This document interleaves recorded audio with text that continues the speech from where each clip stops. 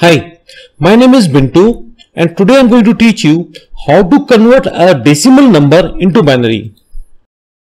Whatever computer course you are doing, whether it is MCA, BE computers or BCA, whatever, if it has a C uh, subject or data structure subject, definitely you will come across a question to convert a decimal number into binary or convert a decimal number into octal or into hexa. So this is a very common question that has been asked. For converting a decimal number into binary, you will be requiring a structure called stack. I hope you've seen my earlier videos of the benefits of stacks in uh, computer subject uh, or how to implement a stack using array. If you haven't seen my earlier videos, please go through these links and have a view to them. I think after viewing those videos, you will be able to understand this program very nicely. Anyway, we'll start understanding this program. I'm defining a macro max of value 10 because I understand that the number that the user will enter won't be having the binary number of more than 10 digits. You can make it 15 or whatever if you hope that the user might be entering a very large integer number, right? So after that, I'm defining a global variable top and initializing it to minus 1. While dealing with the stack, we need an element which is known as top. Top is initially minus 1 while adding elements to the stack, the value of top is incremented after every addition. The process of adding values to stack is called push and the process of taking out anything from the stack is known as pop. We'll see to it, right? So I'm defining one array called stack of length uh, 10. So this stack array is of size 10. User will be asked to enter a number in decimal. Suppose user enters 13.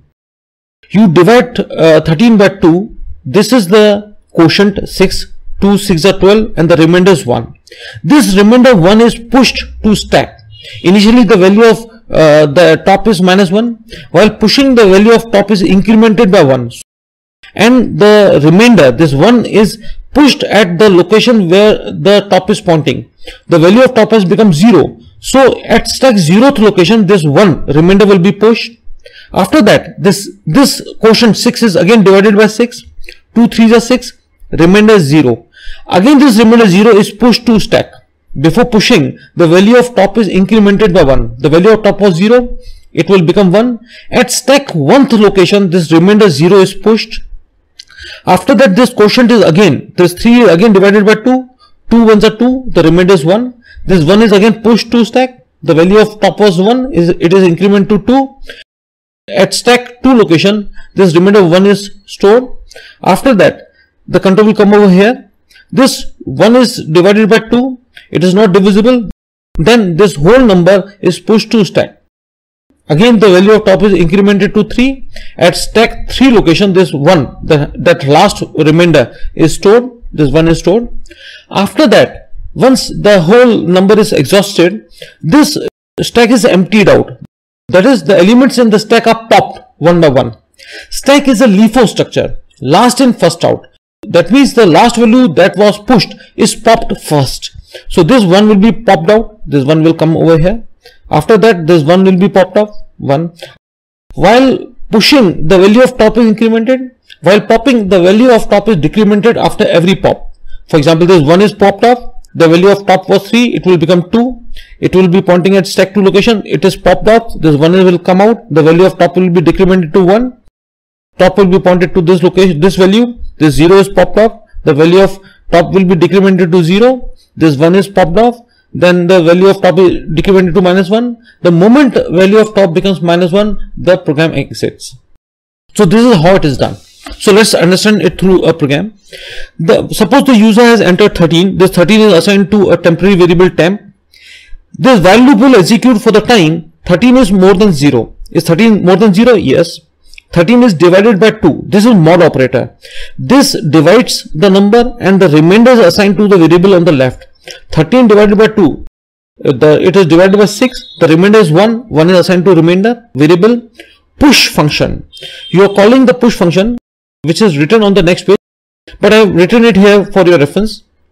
You are calling push function and the value remainder 1 is taken along with it. This 1 will be assigned to m.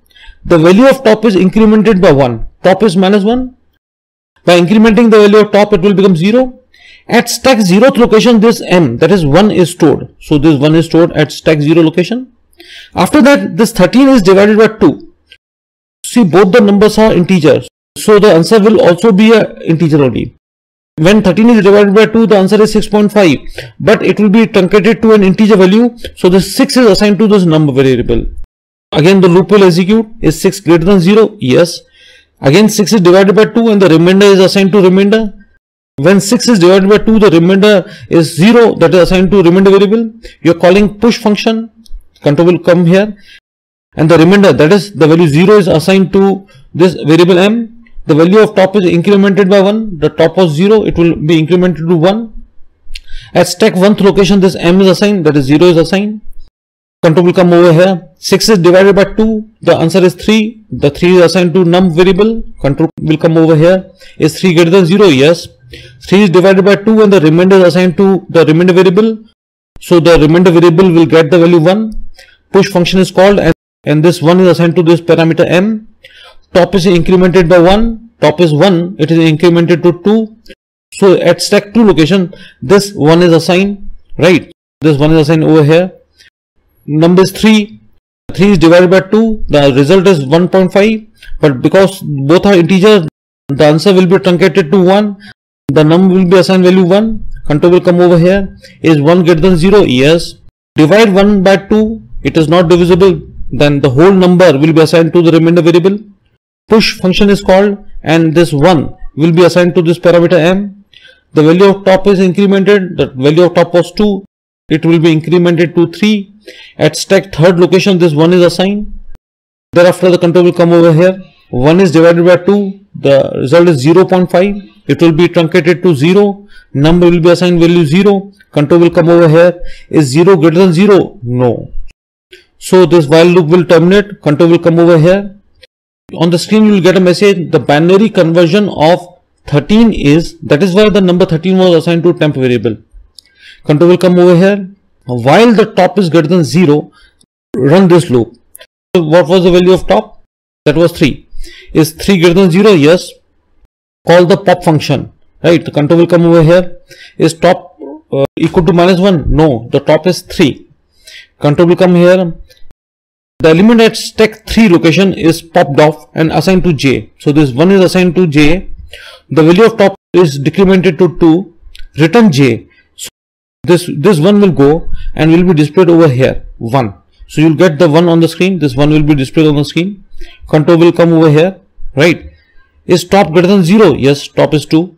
Again call the pop function, control will come here. Is 2 equal to minus 1? No. Extract the value at stack 2 location. Stack 2 location is 1 that is assigned to j. The value of top is decremented by 1. The value of top will become 1.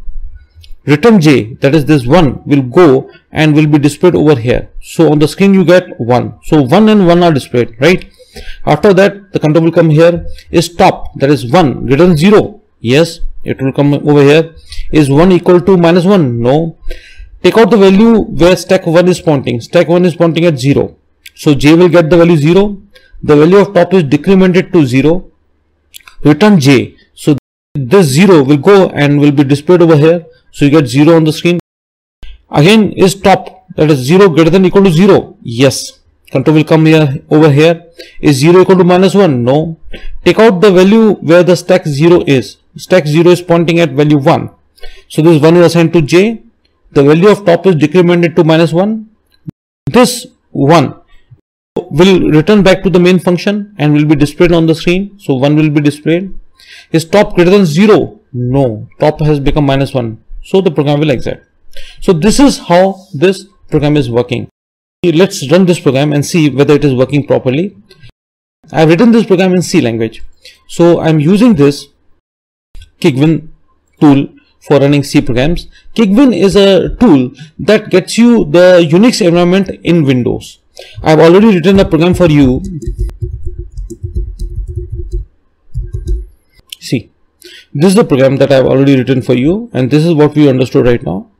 Let's run this program and see if it is working well. I am using GCC compiler for compiling this program. See, it is compiled, no no error at all. Let's run this. See, Enter number, suppose I enter 13. The binary number of 13 is 1101. Let's run this, run again to binary. Let's enter some big number, say this one. This is the binary conversion of 3289. So this program is working perfectly well. Also, if you want to confirm whether this answer is perfectly correct or not, what you can do that you can convert this binary into decimal. Uh, convert a binary into decimal, what you do, you write all the digits after, one after the other. Say this one is written here, one is after written here again, if 0 is written over here and the 1 is written here, right? With every digit you write 2, 2, 2 and 2 and with every 2 you increment the exponent, the power from 0 and uh, increment by 1. So this 2 is to the power 0, this 2 is to power 1, 2 is to power 2 or 2 is to power 3. You are multiplying every number with the 2 to the power or to the exponent 0, the exponent is incremented by 1 every time. 1 into 2 to the power 0, anything to the power 0 is 1, 1 into 1 is 1, 2 to the power 1 is 2, 2 into 0 is 0, 2 to the power 2 is 4, 4 into 1 is 4, 2 to the power 3 is 8, 8 into 1 is 8 and then after you add them 8 plus 4 plus 0 plus 1 is 13. So this binary conversion of 13 is perfectly right. If you find any problem, you can mail me at bmharwani at yahoo.com. You can even mail me for the code of this program. Thanks for watching the video. Have a nice day.